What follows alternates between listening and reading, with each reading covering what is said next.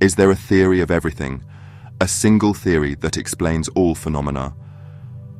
For a long time, physicists have believed there might be.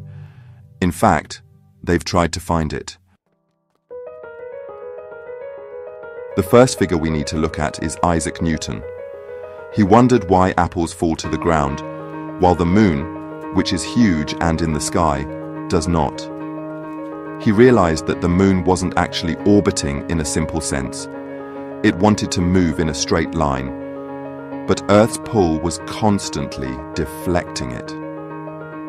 Essentially, the moon was falling just like the apple. Newton expressed in mathematics that the force attracting the moon and the force causing the apple to fall are the same. This principle is known as universal gravitation. Every object with mass attracts every other object with mass.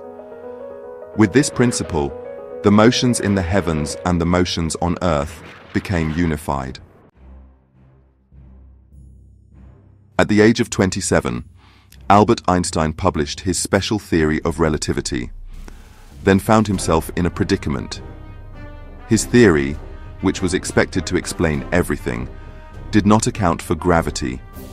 In those days, the fact that objects fall was taken for granted as Newton's gravitational pull from below. But gravity involves acceleration, and special relativity deals with uniform motion, so the two clashed. Einstein eventually decided to incorporate gravity into his new theory, leading to the general theory of relativity. In general relativity, if you place a massive object in space, the surrounding region of space curves. That curvature affects other nearby objects. Even starlight follows this curvature. Newton's force of gravity, then, was really just things traveling through curved space. After Einstein merged gravity with special relativity, his theory was applauded for a while. But soon, another conflict arose, much more complex. Einstein's elegant equations no longer worked in a domain that was extremely small and seemingly trivial. That domain is smaller than atoms, where blobs of energy bustle around chaotically, the quantum world. Here, space itself is in disarray, with no clear up or down, and time itself blurred. Above all, Einstein's gravitational equations, which assume a smooth continuous fabric, don't apply in the quantum realm. Quantum mechanics, a totally different set of rules, is required. In the 1920s, young European scholars investigated quantum mechanics in this subatomic realm. They were completely captivated by this new tiny world. Each day, they proposed new ideas, only to see them contradicted by fresh evidence the next day, and then the evidence got refuted the following day. They were enthralled by the realm of the atom, with a nucleus at its core and electrons moving around it. But no one knew exactly where those electrons were at any moment. Physicists in Copenhagen tried to explain this world, finding it rife with unpredictability.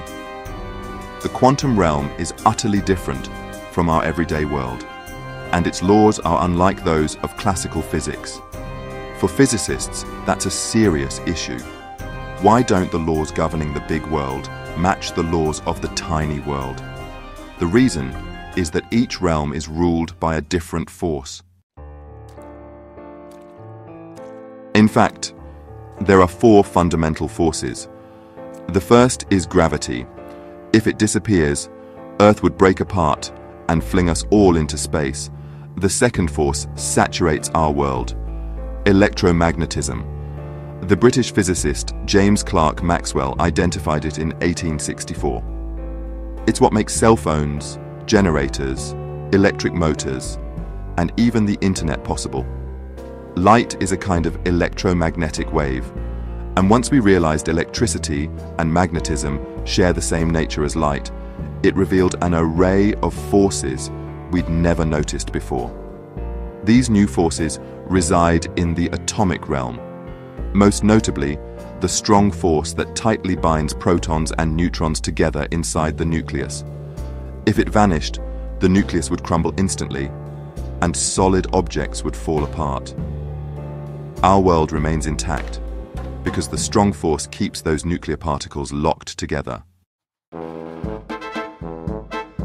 The fourth force is the weak force, which drives radioactive decay in elements like uranium or cobalt. Because it's not nearly strong enough to hold protons and neutrons firmly, it mainly appears in decay processes. So, we have gravity, electromagnetism, the strong force and the weak force. Four forces we dream of unifying into a single grand theory. In the mid-1960s, it was proven that electromagnetism and the weak force could unify. By the mid-1970s, we had a framework uniting electromagnetism, the weak force, and the strong force. Yet gravity remained outside. But why do physicists so desperately want to merge these four forces? Our universe began as a single point, which, well, exploded. One original force splintered into four distinct forces. Gravity separated first, sending shockwaves throughout the young cosmos. Then the strong force followed, and finally electromagnetism and the weak force separated. This all happened in a flash, and after 13.7 billion years, we have today's universe. If we can unify these four forces, we may figure out the universe's initial condition. We might understand where the power to move everything, from tiny insects to giant stars, came from. Einstein longed to uncover the universe's secret, but in the end, he didn't succeed. It seemed an impossible dream. Then one event made a theory of everything indispensable, the discovery of black holes.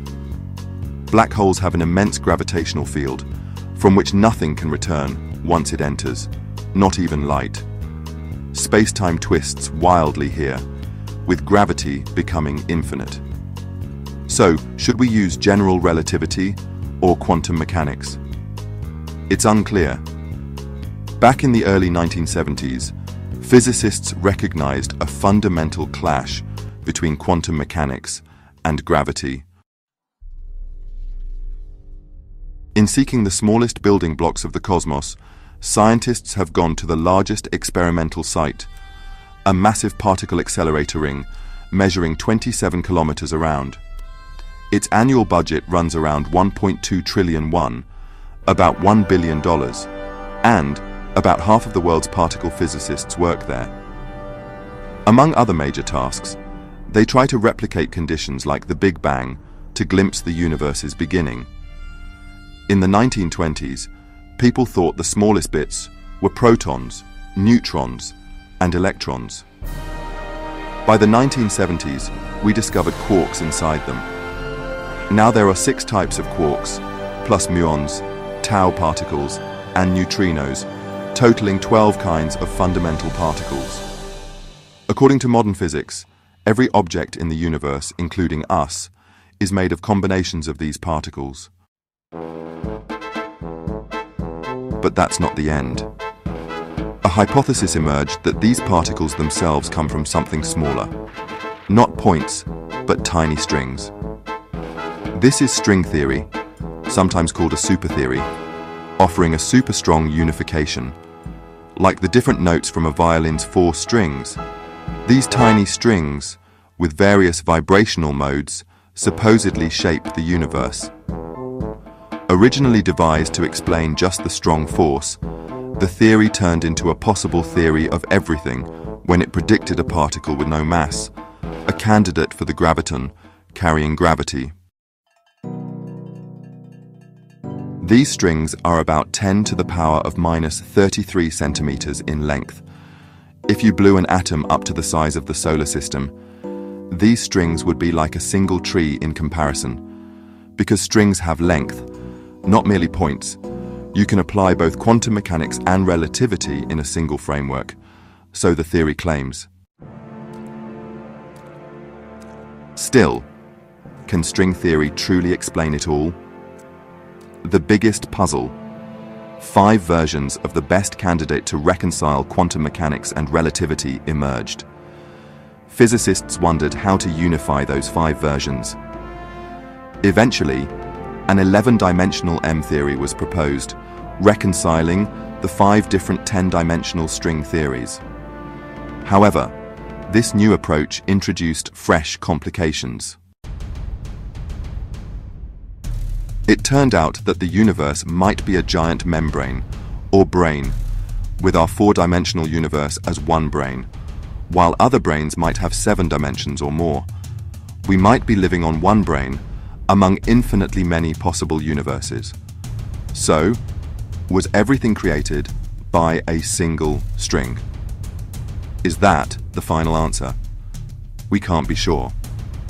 One issue is that superstring theory can't explain why our universe ended up with these particular parameters, while many other configurations also seem possible in theory.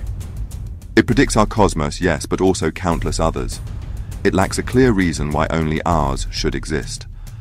That's why physicists continue to search for that elusive inevitability.